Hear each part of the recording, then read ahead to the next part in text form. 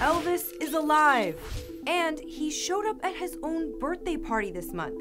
At least that's what some people are saying. Check out this photo.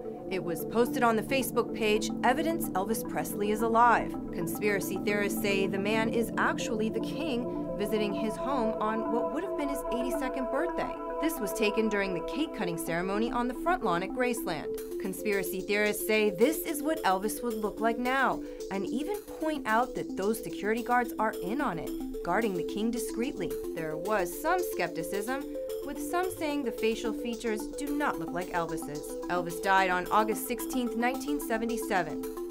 His body was found at Graceland, and the cause of death was a heart attack. Or at least, that's what some people believe. Some think the king is alive and well. I'm Elizabeth Keatinge for Buzz 60. Now you know, pass it on.